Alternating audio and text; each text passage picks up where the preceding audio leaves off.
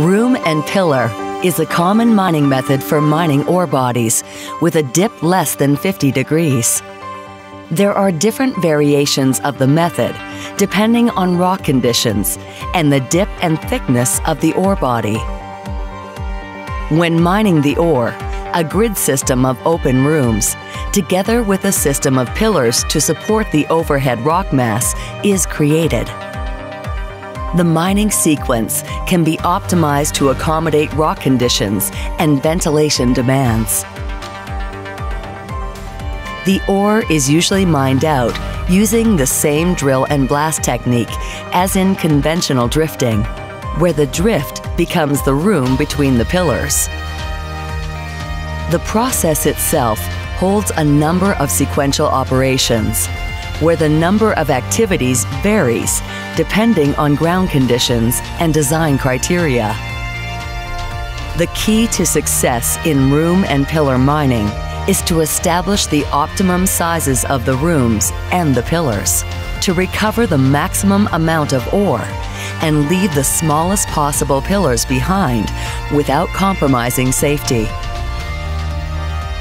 Room sizes and pillar dimensions are based on rock conditions and predicted rock stress changes that may occur when mining.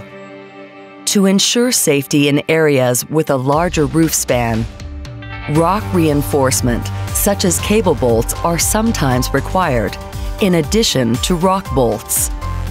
Accurate drilling and good blasting practice minimize overbreak and blast damages in the pillars. This plays an important role to keep the strength in the pillars and therefore preventing pillar failure.